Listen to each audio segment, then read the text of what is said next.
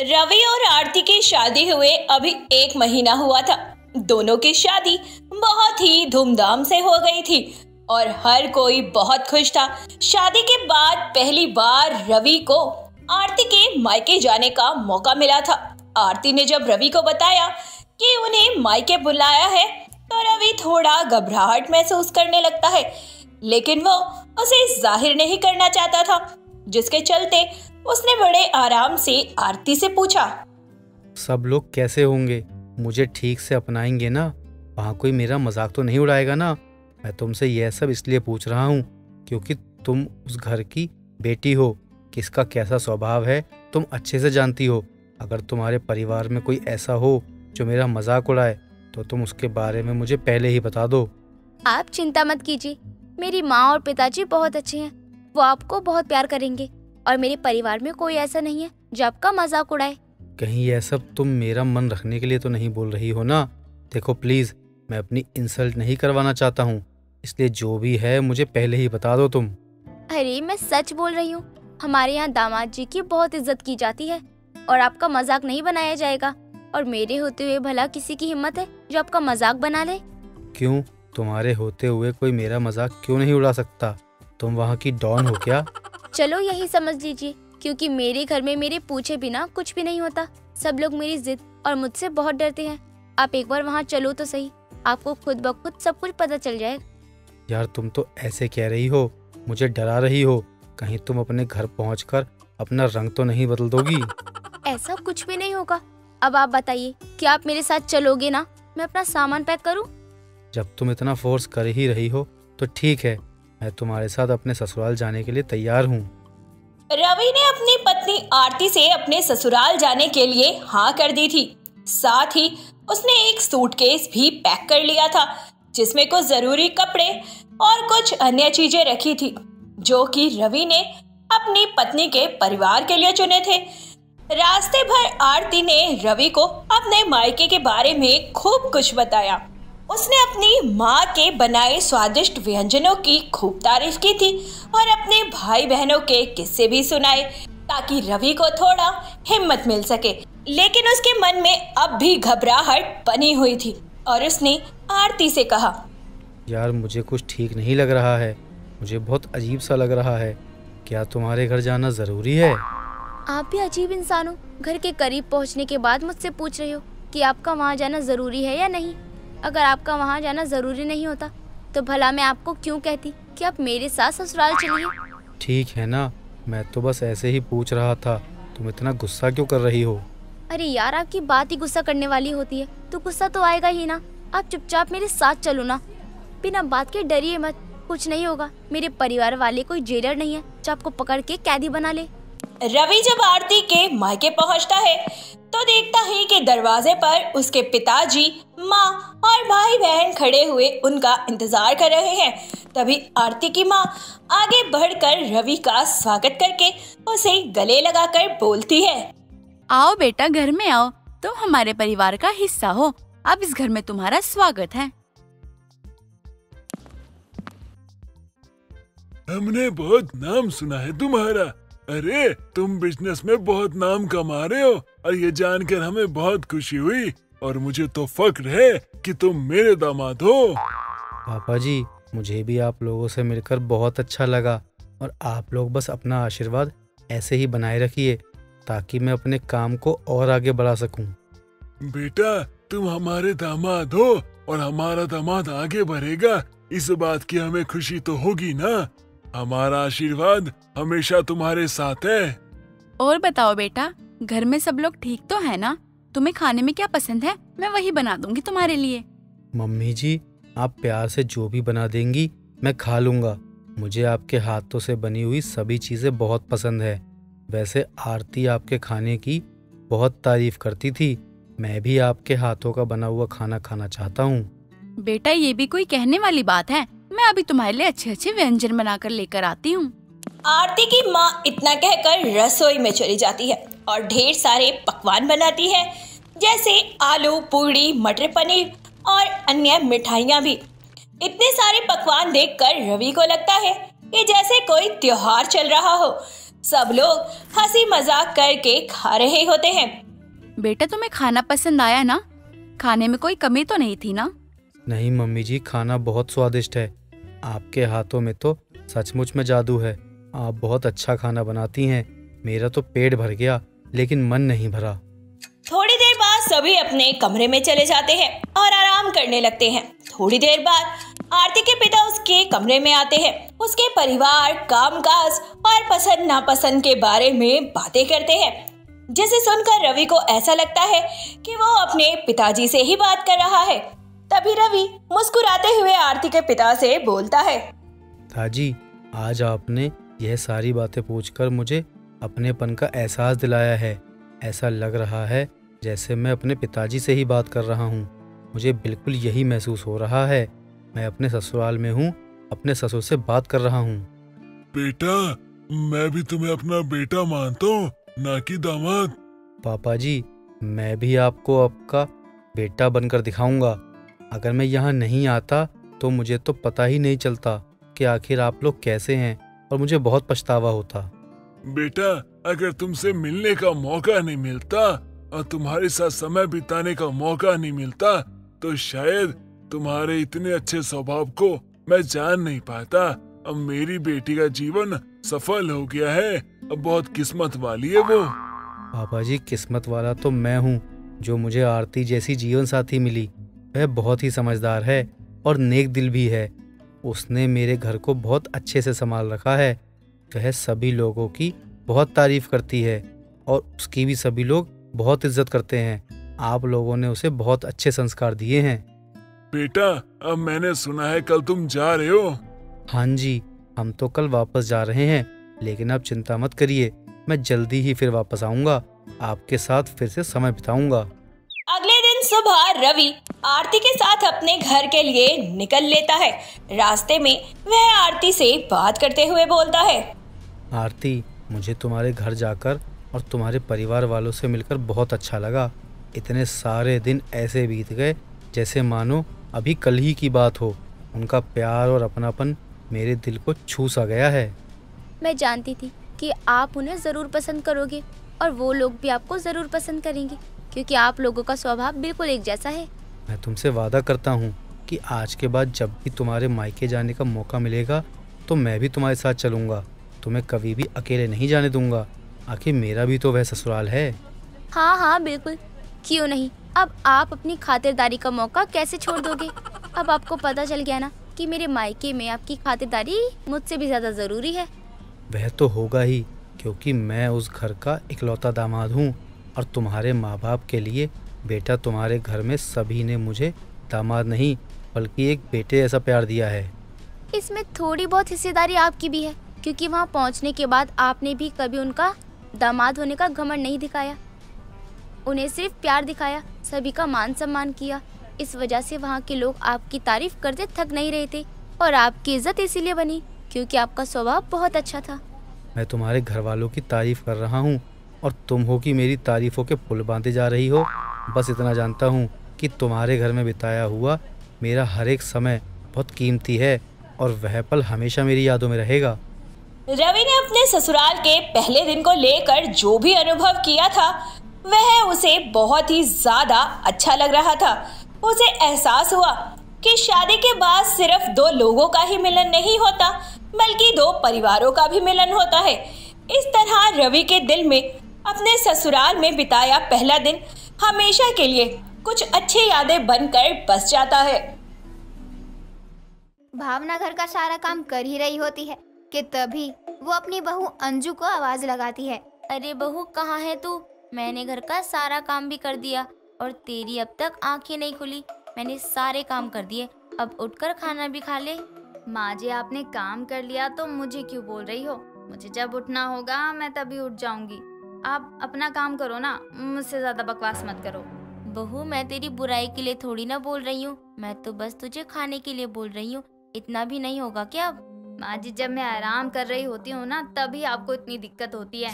ठीक है बहू, अगर तुझे इतनी ही ज़्यादा दिक्कत हो रही है ना तो मैं तुझे कुछ नहीं बोलूँगी। जो करना है कर ले। भावना को अपनी बहू पर बहुत ज़्यादा गुस्सा आता है और वो वहाँ से गुस्से में चली जाती है। अंजू भी वापस से सोने लग जाती है।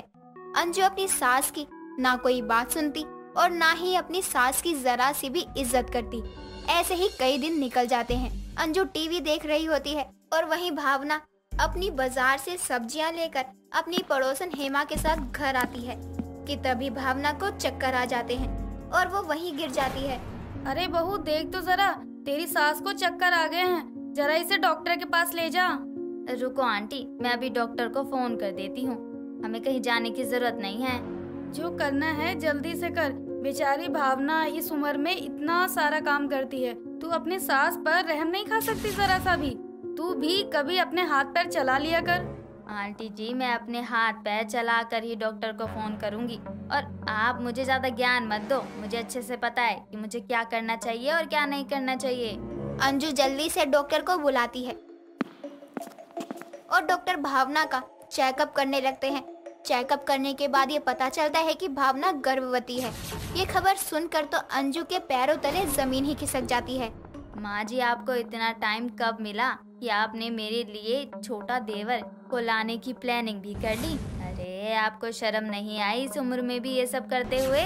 बहू इसमें शर्म वाली क्या बात है? तेरी सास कोई पहली बार थोड़ी ना गर्भवती हुई है जो उसे शर्म है। जिस शर्म की बात तू कर रही है ना ये शर्म कुछ साल पहले ही आ जाती तो तू इस घर में बहू बनकर नहीं आती।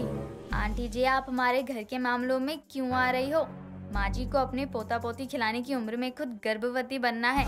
और अब मैं इन्हें कुछ बोलूँ भी ना ये तो गलत है ना?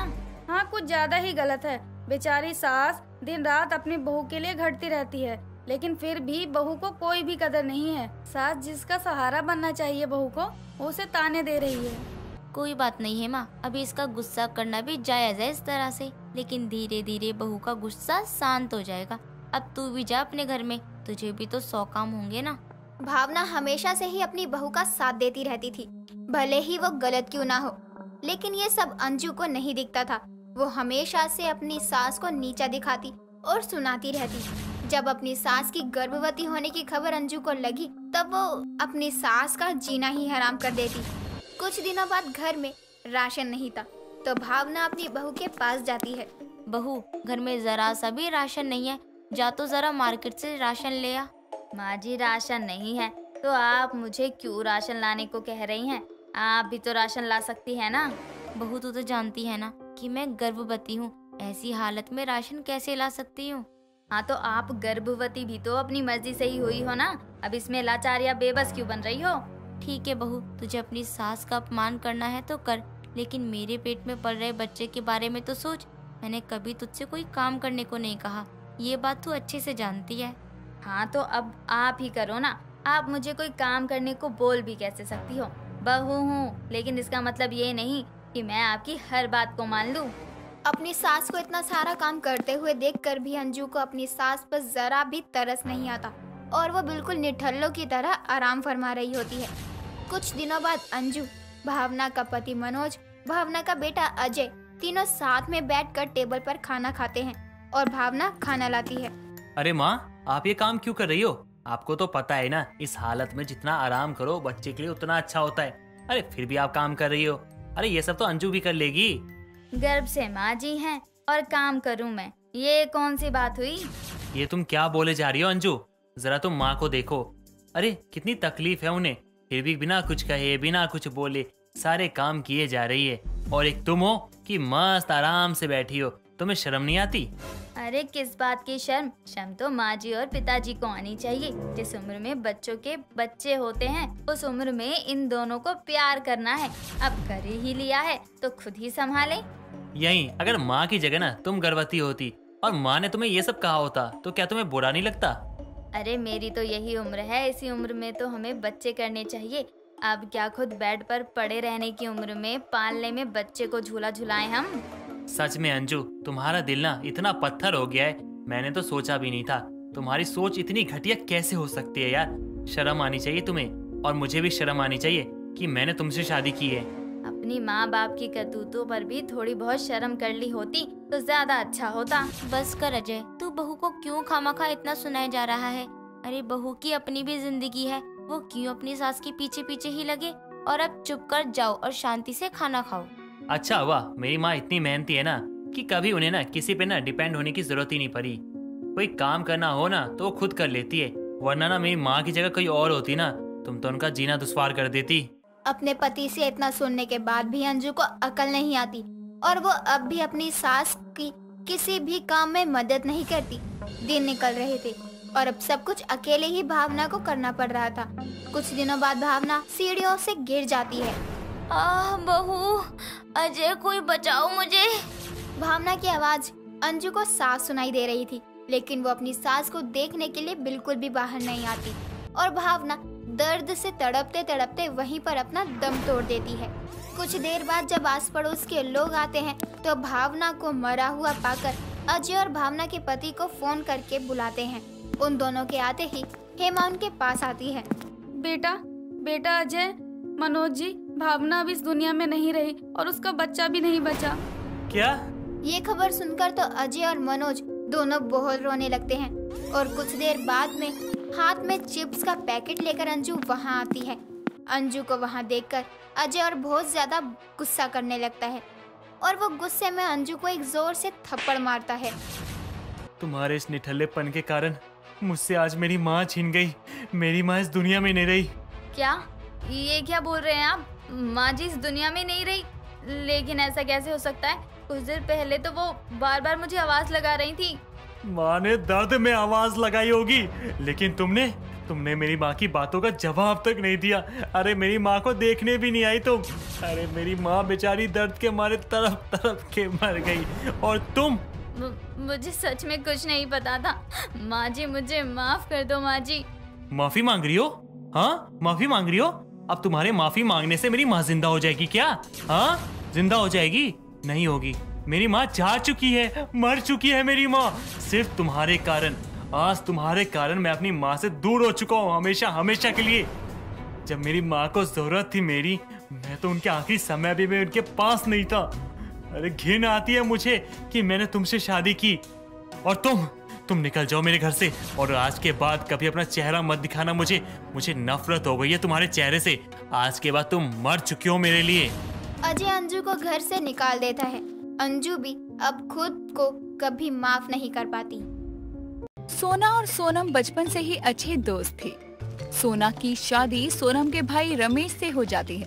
और अब दोनों दोस्त भाभी और ननद के रिश्ते में बंध जाती है। ऐसे ही एक दिन सोना और सोनम बैठकर बातें कर रहे थे कि तभी सोना बोलती है। सोनम देखा हम दोनों ने एक वादा लिया था कि हम दोनों कभी अलग नहीं होंगे। इसलिए मैंने तेरे भाई से शादी कर ली और तेरी भाभी बनकर तेरे घर आ गई। हाँ अब आप मेरे घर आ गई हो तो मुझे इस बात की बहुत खुशी है। हाँ अब तेरी शादी के बाद। तो अब तुम मेरे साथ यहीं रहोगी। अरे ऐसा नहीं होता है भाभी। मुझे भी तो शादी करके अपने ससुराल जाना पड़ेगा। सोना और सोनम की बात पास में बैठी सोनम की माँ कांता सुन रही थी और वो सोना को बोलती है। हाँ बहू सोनम सही बोल रही है। जैसे तू अपने घर से अपने ससुराल आई है वैसे ही सोनम को भी तो अपने ससुराल जाना पड़ेगा ना अपनों को छोड़कर। नहीं वो नहीं जाएगी। हमने वादा किया था कि हम साथ रहेंगे। बहू तू पागल हो गई है और तेरे इस पागलपन के चक्कर में मैं अपनी बेटी के पति को घर जमाई बना दूँ। लोग समाज क्या कहेंगे? तुझे कोई अंदाज़ा भी है? माँ जी, मुझे कुछ नहीं पता। आपको जो करना है वो कीजिए। लेकिन मैं सोनम को यहाँ से कहीं नहीं जाने दूँगी। मैंने सोनम को अपनी दोस्त से बढ़कर माना है। शांत हो जाओ सोना भाभी। ठीक है, मैं आपके साथ ही रहूँगी। अभी हम जो काम कर रहे हैं, वो कर लेते हैं। सोनम की बात सुनकर सोना शांत हो जाती है और अपना काम करने में लग जाती है। ऐसे ही वक्त गुजरता रहता है और एक दिन सोनम के लिए ब्रजेश नाम के लड़के का रिश्ता आता है। ब्रिजेश को सोनम बहुत पसंद आती है और दोनों का रिश्ता तय हो जाता है। सब बैठकर बातें कर रहे थे कि तभी सोना ब्रिजेश को कहती है। सुनिए ब्रिजेश जी मुझे आपसे एक बात करनी है। आप मुझसे वादा करो कि आप उस बात को समझोगे। हाँ हाँ बोलिए भाभी आपको क्या बात करनी है? देखिए मैं और सोनम बचपन से बहुत अच्छे दोस्त हैं और हम दोनों अलग ना हो जाए इसलिए मैंने इसके भाई से शादी की। ठीक वैसे ही आप सोनम से शादी करके हमारे घर आकर घर जमाई बनकर रहिए ताकि हम दोनों एक साथ ही रहें। आपका दिमाग तो ठीक है ना भाभी? हम लोगों के घर में बहू को लाया जाता है ना कि लाडलों को घर में जमाई बनाकर बैठाया जाता है। समझिए आप? आप जैसा चाहती हैं वैसा कभी नहीं होगा। ब्रिजेश इतना बोलकर गुस्से में नीचे चला जाता है और कांता से विदाई लेते हुए बोलता है अच्छा माँ जी मैं चलता हूँ। और हाँ अपनी बहू को समझा दो कि सोनम मेरे घर जाएगी, ना कि मैं आपके घर आऊँगा। और हाँ मैं आपको शादी के लिए डेट निकलवा के बताता हूँ। ब्रिजेश इतना कहकर सोनम के घर से चला जाता है और अपने घर पहुंचकर पंडित से शादी की डेट निकलवा कर कांता को फ़ोन करके बता देता है। कुछ दिनों बाद सोनम और ब्रिजेश की शादी बड़े ही धूमधाम से हो जाती है। दूसरी तरफ़ सोना को पता था कि ब्रिजेश सोनम को यहाँ रहने नहीं देगा। तो वो अपना बैग पैक करने लगती है। तभी सोना का पति रमेश आता है। सोना तुम कहीं जा रही हो क्या? जो अपना ये बैग पैक कर रही हो। हाँ मैं सोनम के साथ उसके ससुराल जा रही हूँ। मैं उसी के साथ रहूँगी। तुम पागल हो गई हो क्या? तुम सोनम के साथ जाके क्या करोगी? चुपचाप से अपना बैग छोड़ो और सोनम का विदा करने के लिए चलो। वक्त हो गया है देर हो रही है। नहीं मैं सोनम के साथ जाऊँगी। या तो सोनम यहीं रहेगी या तो मैं अपनी ननद के साथ जाऊँगी। सोना इतना बोलकर अपना बैग उठाकर बाहर चली जाती है। और सोनम की गाड़ी में अपना सामान रख देती है और सोनम को जाकर बोलती है। अब बस बहुत हो गया सोनम। चलो अब जल्दी चलो मैं तैयार हूँ। आप तैयार हैं भाभी? आप कहीं जा रही हो क्या? और ये बैग क्यों रखवाया है? मैं भाभी से पहले तुम्हारी दोस्त हूँ। तो मैं तुम्हारे साथ तुम्हारे ससुराल जा रही हूँ और लड़की के मायके से किसी न किसी को साथ में जाना ही होता है। तो मैं साथ में जा तो रही हूँ। पर साथ में कोई बच्चा जाता है भाभी? ना कि कोई भाभी। सोना सबके आगे जिद करने लगती है और सब उसको रोकने की कोशिश करते हैं मगर वो जिद पर अड़ जाती है और किसी की नहीं सुनती। इतना सब ड्रामा होने के बाद सोनम बोलती है। अच्छा ठीक है जाने दो भैया। एक दो दिन बाद आपकी याद आएगी तो वो खुद ही आ जाएँगी। ससुराल ही तो जा रही हैं वो मेरे। मैं समझा कर वापस भेज दूँगी। सोनम की बात सब मान जाते हैं और आधे मन से उसको जाने की इजाज़त दे देते हैं। सोनम की विदाई हो जाती है और सोना सोनम के ससुराल की तरफ़ निकल जाती है। कुछ देर बाद दोनों अब अपने ससुराल आ जाते हैं। ब्रजेश की माँ ललिता सोनम और ब्रजेश के गृह प्रवेश की रस्म करवाती है और उनके साथ ही सोना भी थी। वहाँ पर सभी औरतें ये सब देखकर चौंक जाती है। तभी ललिता की पड़ोसन कहती है, अरे वाह ललिता, सभी बहुएँ अपने साथ अपने भांजे को लेकर आती है, लेकिन तेरी बहू तो अपनी भाभी को ही ले आई है। हाँ वो एक दो दिन यहाँ रहेंगी फिर वो चली जाएँगी। हाँ अभी हमारी मेहमान है और मेहमान की इज़्ज़त करना हमारा तो काम ही है। और तेरी तो आदत है हर किसी के घर में आग लगाने की। तू कुछ भी सोचे लेकिन ये बहुत अजीब बात है कि ननन के साथ भाभी आई है और अब पता चले कि तेरी बहू के साथ तेरा बेटा नहीं तेरी बहू की भाभी ही सो जाए। फिर तो हो गई तेरे बेटे की पहली रात। पड़ोसन के इतना कहते ही वहाँ पर मौजूद सारी औरतें हंसने लगती है। लेकिन ललिता उन पर ध्यान नहीं देती और रस्में पूरी करके उनको अपने कमरे में भेज देती है। कुछ देर बाद सोनम को, ब्रजेश को कमरे में भेज देती है और ललिता सोना से बोलती है, सोना बहू, तू मेरे साथ चल, मैं तुझको तुम्हारे कमरे में छोड़ देती हूँ। मेरा कमरा? अरे नहीं नहीं, मुझे तो अपनी ननद के साथ ही सोना है तो मैं तो उसके कमरे में ही सोने जा रही हूँ। बहू पर आज उसकी पहली रात है और पति पत्नी को अकेले ही छोड़ देना चाहिए। तुझको तो पता ही होगा। मुझे कुछ नहीं पता। पति पत्नी वो बाद में है लेकिन उससे पहले सोनम मेरी दोस्त है और मुझे उसके साथ ही सोना है। ललिता और सोनम में बहस होने लगती है और उन दोनों की आवाज़ सुनकर सोनम और ब्रिजेश दोनों बाहर आती हैं और सोनम बोलती है क्या हो गया माँ जी? भाभी ठीक तो है ना? तेरी भाभी का दिमाग खराब हो गया है। वो तेरी पहली रात को तेरे साथ सोना चाहती है। ऐसा कभी होता है क्या? भाभी आपका दिमाग तो ठीक है ना? या भैया को फ़ोन करूँ तो वो आपको ले जाए? कर लो जो करना है। आज रात मुझे तुम्हारे साथ ही सोना है बस। मुझे कुछ नहीं पता। सोना फिर एक बार जिद करने लग जाती है और उसकी जिद के आगे फिर सब हार जाते हैं। और सोनम सोना को लेकर अपने कमरे में सोने चली जाती है। ललिता और ब्रिजेश को ये सब देखकर बहुत ज़्यादा गुस्सा आता है। और लेकिन वो फिर भी कुछ नहीं कर पाते। वो दोनों भी अपने कमरे में सोने चले जाते हैं। सोना तो सो गई थी लेकिन सोनम सोना को देखकर अपने मन में कहती है। आज मेरी ससुराल में पहली रात है और मैं अपने पति को छोड़कर अपनी भाभी के साथ सो रही हूँ। अगर ये बात लोगों को पता चली तो कितनी शर्म की बात होगी। आज तो ठीक है कल मैं इनको ऐसा नहीं करने दूँगी। कुछ देर बाद सोनम को भी नींद आ जाती है और वो भी सो जाती है। अगले दिन दोनों सुबह जब सोकर उठते हैं तो सोना पूरे दिन सोनम के पीछे पीछे घूमती है जिससे कि घर के सभी लोग अब सोनम से परेशान हो जाते हैं। फिर रात को सब सो रहे थे कि तभी ललिता सोना से कहती है सोना बहू आज अलग सोने का इरादा है या सोनम बहू के साथ ही सोएगी आज भी? आपने बिल्कुल सही पकड़ा है माँ जी आज भी मैं सोनम के साथ ही सोने वाली हूँ। आपको कोई तकलीफ़ है क्या? सोना फिर एक बार जिद करने लगती है लेकिन इस बार सोनम को सोना पर बहुत गुस्सा आता है। और सोनम सोना से कहती है। बस बहुत हो गया भाभी। अब तो आप मुझे परेशान कर रही हो। कल मेरी पहली रात थी लेकिन आप मेरे साथ सो गई और मैं आपके चक्कर में अपने पति को बिल्कुल टाइम नहीं दे पा रही हूँ। आप मेरे घर से चले जाओ।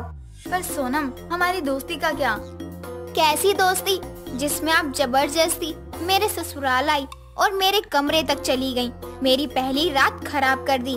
मैं भैया को कॉल कर रही हूँ। वो आएँगे और आपको ले जाएँगे। आप जब मेरे घर आई थी, क्या मैं आपके साथ आपके कमरे में सोने गई थी, जो आप मुझे ऐसे परेशान कर रही हो? आप मेरे घर से चली जाओ और वापस कभी मत आना। सोना को सोनम की बात का बहुत बुरा लगता है और अपनी हरकतों पर पछतावा होता है। कुछ देर बाद रमेश आता है और सोना को अपने साथ ले जाता है। ये सब देखकर ब्रिजेश खुश हो जाता है कि सोनम ने एक सही फैसला लिया। और दोनों कमरे में आराम करने चली जाती हैं।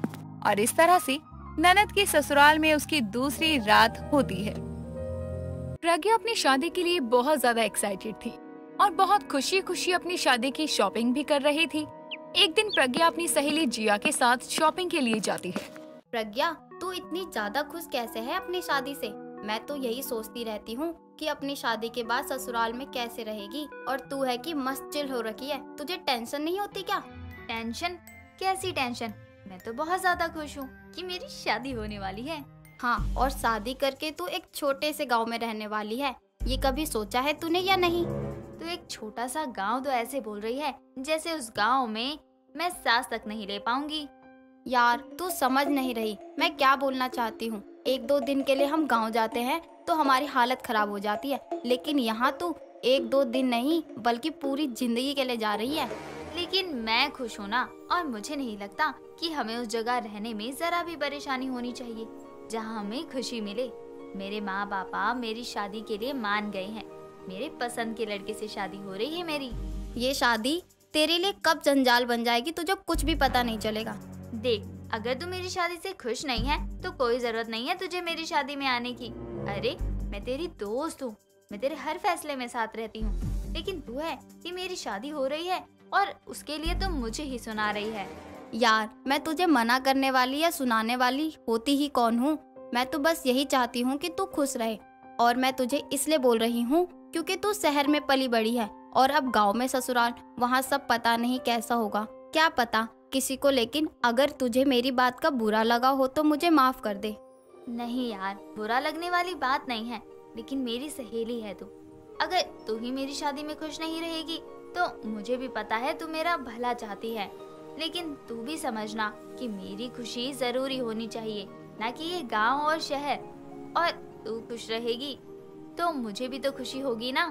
तू ना ऐसी ही बातों में पूरा टाइम खराब कर दे फिर बाद में तू मेरा ही सर खाएगी। मुझे ये भी लाना था वो भी लाना था। चल अब ले ले मेरी एक लौती बेस्ट फ्रेंड की शादी है मुझे भी शॉपिंग करनी है।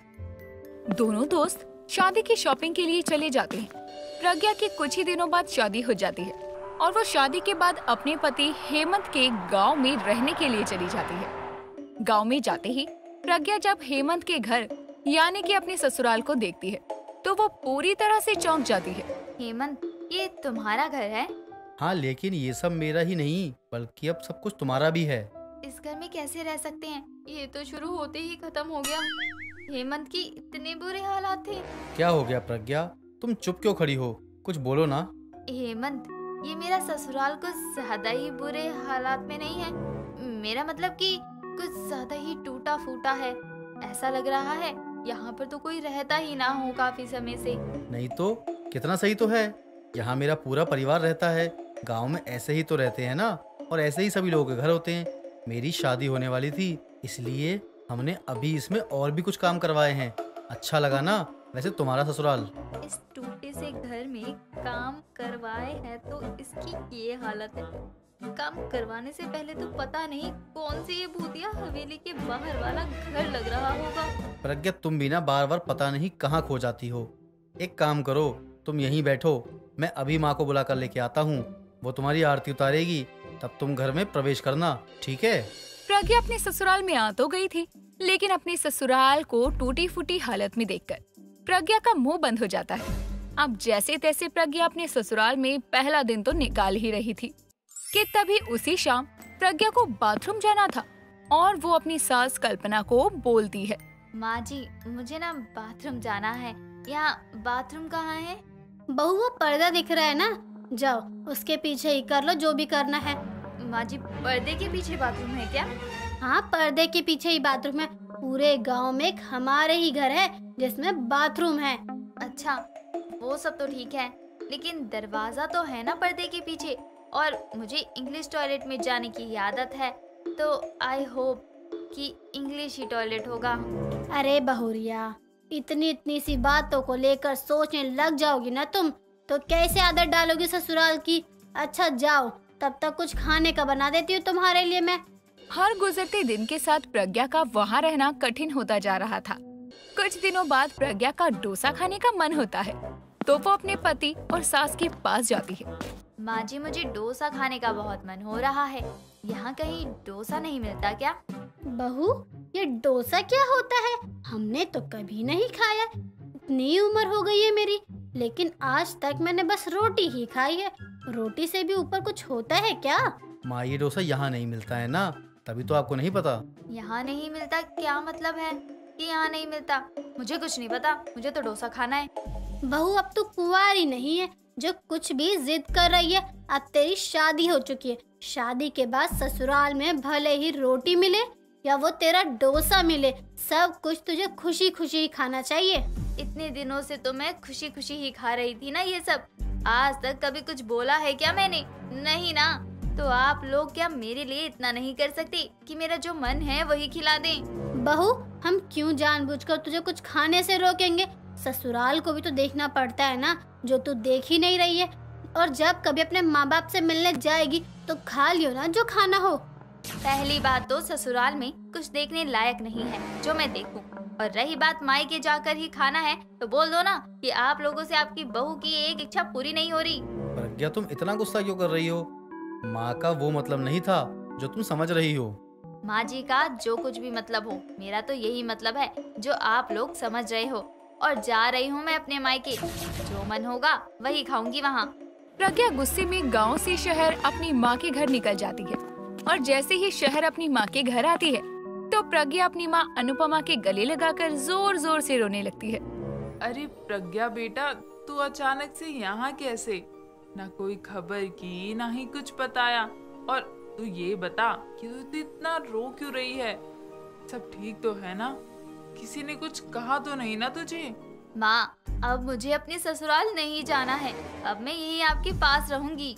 ससुराल नहीं जाना? ये तू क्या बोल रही है बेटा?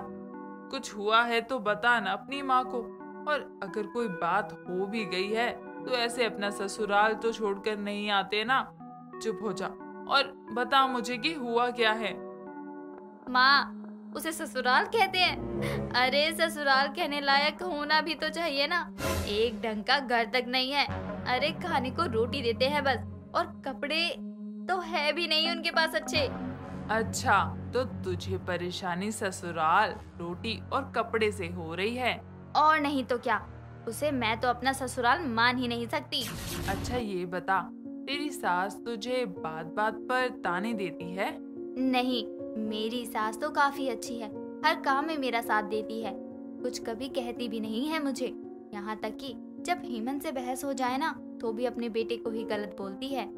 अच्छा फिर तुझे हेमंत परेशान करता होगा। नहीं माँ हेमंत तो बहुत अच्छा है और हर काम उसे पूछ कर करता है। तो बस फिर तेरा ससुराल इतना अच्छा तो है। देख हम लोग भी पहले गाँव में ही रहते थे। तेरे पिता का मैंने साथ दिया। तेरी तरह भाग के मायके नहीं आ गई। और यहाँ तो तुझे सास भी इतनी अच्छी मिली है। तू छोटी छोटी चीज़ों को देखेगी तो कभी खुश नहीं हो पाएगी। अपनी माँ की बात सुनकर प्रज्ञा को अपनी गलती का एहसास होता है और वो वापस अपने ससुराल चली जाती है। जहाँ सबसे माफ़ी मांगकर वो अपनी सास और पति दोनों के साथ रहती है। दोस्तों, अगर आपको ये कहानी पसंद आई तो इसे लाइक करें शेयर करें और कमेंट करके बताएँ कि कहानी में आपको सबसे अच्छा क्या लगा।